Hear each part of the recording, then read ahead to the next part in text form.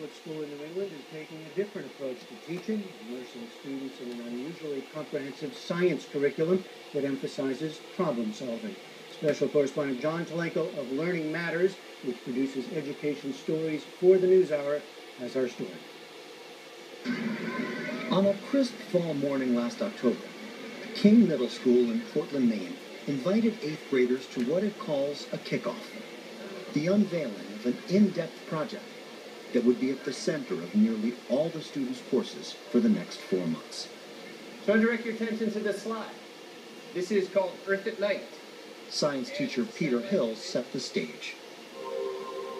There are certain parts of the world that use a ton of energy. Along with that, 25% of the world's population doesn't have electricity enough. But enough solar energy hits the Earth every hour to supply the entire world's energy needs for a year. So we need to design tools that can capture all that sunlight that's hitting Earth or capture all that wind power that's sitting out in the Gulf of Maine. We need to, wait for it, revolt. Hill handed the students an ambitious assignment to fulfill by the end of the project. You're going to create a device that captures natural energy and transforms it into something that's useful for people in some part of the world. I was like, I can't do that. Taking all this in was Leva Pierce. That's that's way too much. I was, I don't know the first thing about electricity. I don't know the first thing about windmills. I am totally gonna fail. I was like, there's no way that's gonna happen. Emma Schwartz. First of all, I can't build anything, and I've never handled a screwdriver in my entire life, or an electric drill. Like, this isn't gonna work. So I want you to think about the big picture here. Projects that take students into uncharted territory are at the heart of teaching and learning at King. Though it's a regular public school, this approach, called expeditionary learning, is unusual, but could be just the kind of education students need in a rapidly changing world. This expedition began with a design challenge. We're building robots that are made to collect resources, which are ping pong balls. Nat Youngren and his classmates were building their robots from kits that allow for an almost infinite number of possibilities. You can do whatever you want to make them do this, but they have to be able to go up, get ping pong balls, and bring them back. I made mine completely sound controlled, so you can control it to turn and move back to your base. This one has to be much longer. Working in teams, students spent four weeks perfecting their robots in a class called Tech Ed. Gus Goodwin is the teacher. This kind of really hones in on engineering. What is the design process? I'll take care of the programming, but if you just You have to program a robot, build it, tinker with it, and get it to work. Leva Pierce, who at the kickoff had feared failing, seemed to embrace robotics. We've made this um, wide thing that when it goes forward, it will catch the balls. It's pretty hard. Two, we got two. Let's go, chipmunks, let's go. Let's go, chipmunks, let's go. Just before Thanksgiving, students put their creations to the test at a school competition dubbed Robo Wars. Set, go. Nat Youngren's robot started well enough and stalled. The room was too noisy for its sound controls. As for Leva Pierce, her team finished second. The objective for all the students was that this activity would somehow bring them closer to designing an energy generating device of their own. the robot competition was really successful. Kids are really, I think they've internalized the design process. They know it's an ongoing process. They know they need to engineer their designs and constantly revise and get feedback. And so we're on our way.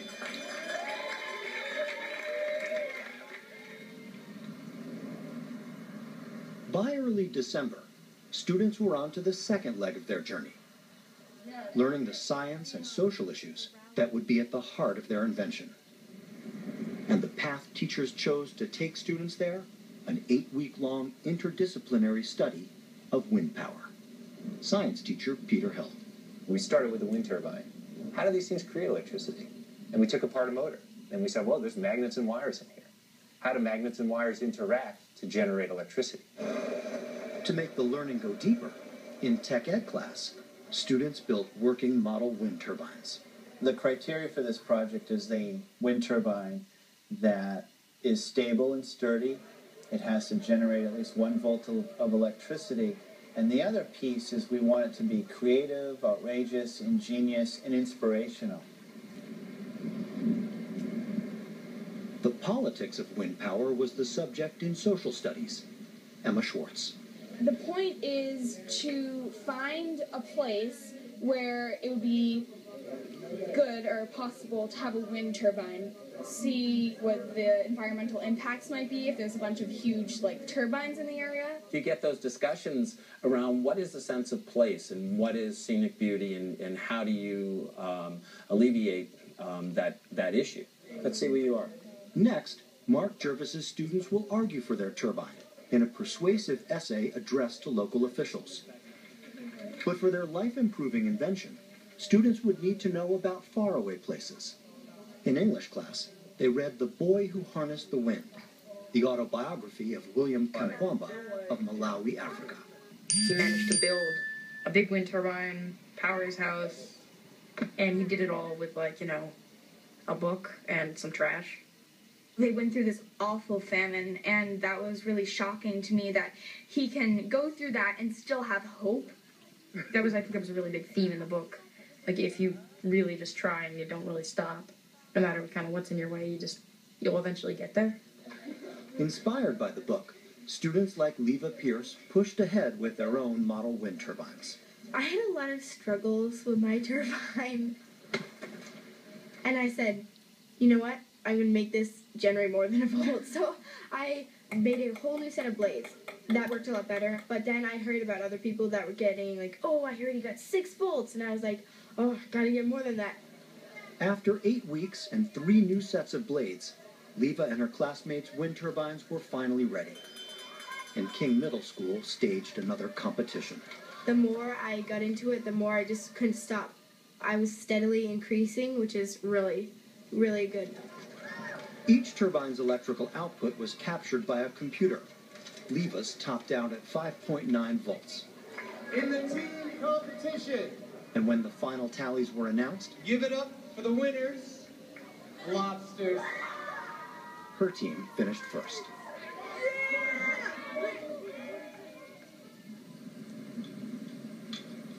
By February, students had reached the final stage of the project, creating an energy generating device that improves people's lives. As a team of teachers, we brainstormed, you know, what are 10 things that really need to get solved in the world? We came up with purify water, light a room at night, um, charge a cell phone, stuff like that. Just to kind of get kids rolling, just give them a little push to get the creative juices flowing.